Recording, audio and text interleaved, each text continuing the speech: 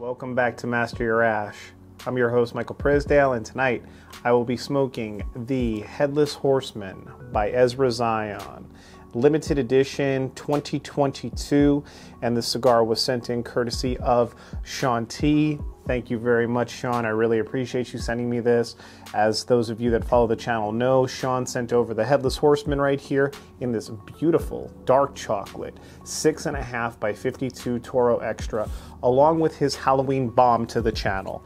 And we smoked our first Ezra Zion courtesy of Sean T. So all the props in the world to him for sending along the pumpkin pie and cream, which was fantastic for this year. Thoroughly enjoyed that cigar. And as I said, dark chocolate wrapper, a couple of visible veins here on the Ezra Zion, which you can see in the overhead shot pretty well. I know that traditionally the 2020 or the 2021, I believe that they both had Corojo 99 Rosado leaf as the wrapper. This seems to be a bit darker than a Corojo 99 leaf. Most of the tobaccos are aged between 5 and 12 years in, in the past. Not sure once again what this particular iteration of the Headless Horseman has as far as the blend goes.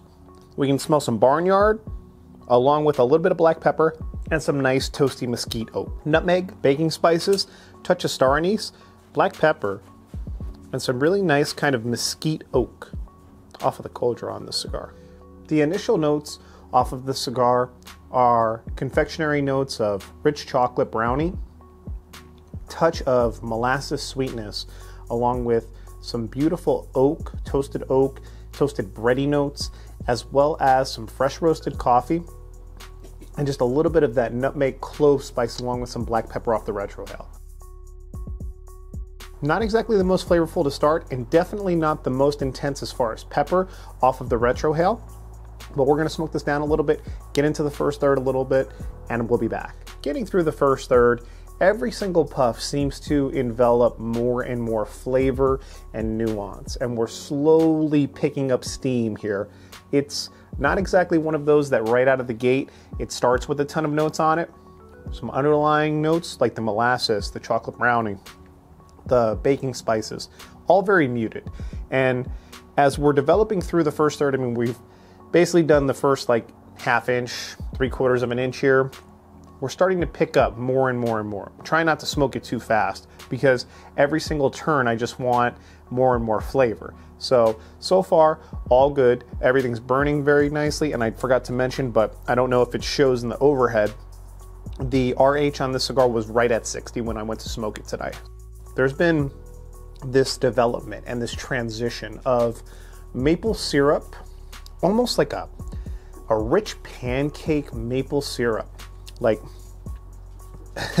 it's hard to describe how mapley this cigar really is. It has the cinnamon, nutmeg, clove, baking spices working all on the back end now, and the maple syrup has taken the the like upfront kind of note.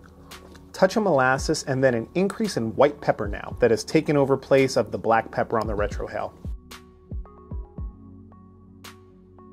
To the point where it's stinging on the nostrils. I like the cigar's flavors. I like where the transitions are heading. I just wanted to kind of balance itself out now because it seems as though the first inch kickstart the blend and now we're just at this overload of flavor on both ends of the spectrum. There's a ton of sweetness and a ton of pepperiness. Smoking down our Ezra Zion Headless Horseman 2022 limited edition and I'm happy to report that as we've transitioned from the second third into the final third, we have reached that balance that I was asking for. So all in all, it's been a really nice smoke. The balance has increased. We're getting now just this mixture of molasses, pepper, the rich oak that we got in the first third is back. The allspice, baking spice, everything is working together in perfect harmony. And I'm happy to see and happy to report that this cigar has become a really great smoke. And I get it.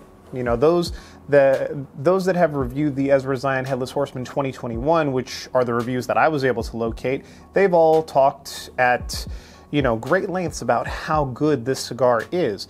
And I think that with another six months to a year of aging, the 2022 is also going to be really good. It reminds me of the Viaje releases, where sometimes you get a release that just needs a little bit more time to mellow out and open up, just because of the fact that some of them get shipped really fresh.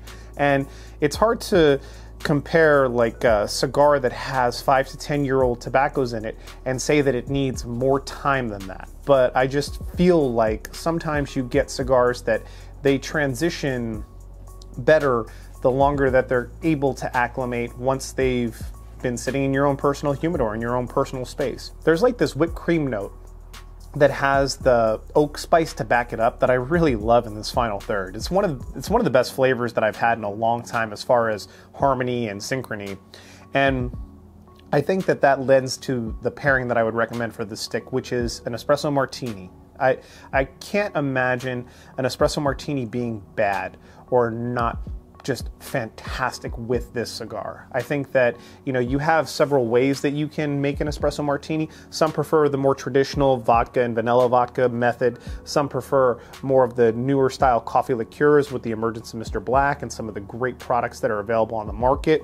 There's going to be a really beautiful creme de coco that I plan on using in my Brandy Alexander video that's upcoming and that product alone by itself in an espresso martini is fantastic as well with all the rich vanilla chocolate notes that are found in that liqueur and that's made by Tempus Fugit, but we'll get into that more when we do the Brandy Alexander video because I don't want to spoil it.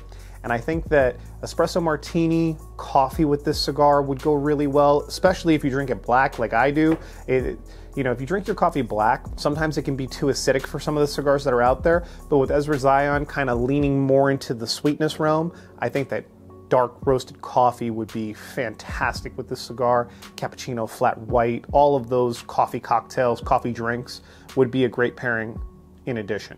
Also, for those of you non alc drinkers that enjoy your sodas, the Coke coffees that are out there, especially the Coke coffee in vanilla or the dark blend, those would all be great pairings with this cigar. As we lean into the final third, there's been this emergence of red pepper to complement the whipped cream, the cedar, the oak notes on it, along with a little bit of like mocha, mocha chocolate latte. And once again, that just lines up perfect with any of your coffee variations, espresso martinis that are out there. It's just a really solid smoke. Is it five pack worthy? Absolutely. And I would recommend a five pack on this stick just because of the fact that you're gonna want some that you can stash away for a couple of years and come back and visit. So I hope to get my hands on a couple of more of these. Thank you all so much for watching, for liking, commenting, subscribing.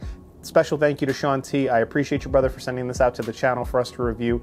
Thank you all so much for helping to build the community here and grow this community at Master Your Ash. And I look forward to catching you again for another Ezra Zion cigar review.